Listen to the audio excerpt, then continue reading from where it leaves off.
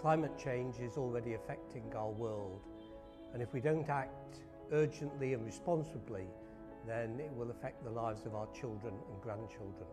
In September 2015, the UN Assembly passed 17 development goals. Goals 12 and 13 address the sustainable consumption of resources and activities to combat climate change. With this new development agenda for the world, it's relevant that the medical profession also looks at how we use resources and how we can reduce our own carbon footprint. The healthcare sector is responsible for 8% of the US's total greenhouse gas emissions, and the National Health Services is responsible for about 3.5% of the United Kingdom's total greenhouse gas emissions.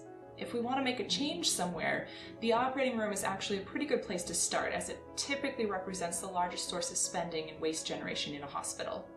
A carbon footprint of cataract surgeries in the United Kingdom suggests that the procurement of supplies, which are largely single use and disposable, represents the largest portion of the greenhouse gases for a phacoemulsification. We assessed the greenhouse gas emissions from a surgical model which is both effective and efficient. Aravind Eye Care System in the South Indian state of Tamil Nadu has created a high volume surgical model which reuses nearly all of their surgical materials. Previous studies have found that Aravind's surgical outcomes are actually better than the UK's in a variety of metrics. Our study analyzes the carbon footprint of their high volume approach to phaco phacoemulsification. Aravind, when it started, had its mission of eliminating needless blindness, and for it to achieve it, the high volume approach was a necessity and not an option. Through outreach and vision centers, Aravind admits and does about 100,000 cataract surgeries each year. Additionally, about 100,000 come directly to the paying section and 50,000 to the subsidized section of the hospital, taking the total to 250,000 cataract surgeries being done annually. This requires Aravind to perform 750 to 1500 surgeries each day. This is achieved through detailed daily micro planning to ensure adequate staffing, supplies, and equipment, including sterile surgical instruments. Each surgeon operates on two tables supported by two scrub nurses and a circulating nurse, thus minimizing the wait for patients or equipment. Such high volume is enabled when quality is integral to it. At Aravind, quality systems are built on the foundation of standardized protocols, good medical records, and more importantly, an organizational DNA that fosters a culture of continuous improvement. We tracked the greenhouse gas emissions from a single phacoemulsification using a tool called Life Cycle Assessment, or LCA.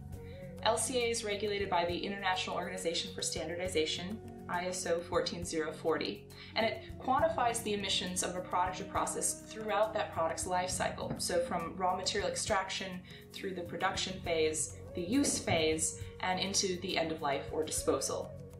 Using LCA, we cataloged all the materials and energy needed for each surgery, matched them to databases which estimate life cycle emissions, and then summarized them into a common unit of carbon dioxide equivalents. At the end of life phase for single-use disposable items like patient face drapes, gauze, and needles, these materials are either recycled, landfilled, or incinerated.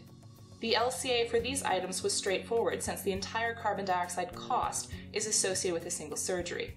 For reusable items such as gowns, masks, surgical tools, and stainless steel equipment, a fractional carbon dioxide cost for production and disposal of these items was allocated to each surgery based on the lifespan of each item. Between cases, Aravind sterilizes their surgical equipment, syringes, and phaco phacoemulsification tools in a 30-minute autoclave cycle. At the end of the day, these items are ultrasonically sterilized and autoclaved in a full one-hour cycle. The staff's reusable linens and patient blankets are laundered and dried in-house at the end of the day. The carbon dioxide cost of sterilization for all of these materials is applied then to a single surgery. Even the gloves at Aravind are reused. Between cases, surgeons and assistants use an antiseptic rub to sterilize their gloves. They are thrown into the waste bins for incineration after being used in about 10 cases. Aravind only generates about a quarter kilogram of waste per patient. Two thirds of this is recycled, with 17% going to the local biowaste incinerator and 18% heading to the landfill. Auditing this waste shows that 20% was from the patient face drape and a full quarter was from the packaging and directions included with the intraocular lens. The total life cycle greenhouse gas emissions for a single phacoemulsification at Aravind are about 15 kilograms of CO2 equivalents. This is like driving a car 35 miles or 57 kilometers. The largest portion of impacts came from electricity use, resulting in about 12.5 kilograms of carbon dioxide equivalent emissions. This is likely an overestimate as the operating rooms and the central sterile services were not sub-metered. The footprint from Aravind's materials use is minimal. Production, disposal, and use of all materials results in just 0.8 kilograms of carbon dioxide equivalents, and the recycling saves an additional quarter kilogram. Compared to the 2013 study of phacoemulsification in the UK, Aravind's carbon footprint for material production and disposal is just 1% of the UK's. The cost of Aravind's surgical supplies is only 11 US dollars per case, and they charge just 200 US dollars per phacoemulsification, with outcomes that rival the United Kingdom's. Now, there are many factors that go into the cost of surgery, but you can see that efficiency carries through this whole system. We are very proud of what we have accomplished in providing quality care at lower cost for our patients. We are continuing our journey to increase efficiency and reduce carbon emissions with a variety of sustainability initiatives. Aravind is currently working with our IOL manufacturer, Aurolab, to find ways to reduce packaging on the lenses. All our hospitals are installing solar panels and we are currently in the process of adding 100 more vision centers by the year 2025 to increase access to care and minimize patient travel. In all our outreach, we transport the patients as a group and for follow-up, we send our team to the community. By this, our patients coming back to the hospital is reduced.